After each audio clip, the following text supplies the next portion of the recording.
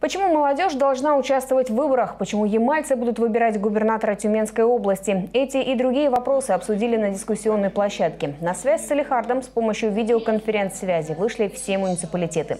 Молодые люди обсуждали значимость реализации своего выборного права. Говорили о программах, направленных на то, чтобы молодые ямальцы активно участвовали в выборных кампаниях. Очень много э, молодежных лидеров в этом, э, на этих выборах выдвинулись на посты и, э, депутатов, и в ЗАГС собрания, поэтому не то чтобы призываю, но я всем рекомендую на самом деле прийти на эти выборы, потому что этот голос каждый важен. Каждый молодой, молодого человека голос очень важен, чтобы сделать какой-то итоговый результат. Участники дискуссии уверены, в сознании как можно большего количества представителей молодежи Ямала должна быть сформирована четкая позиция о важности исполнения своего гражданского долга.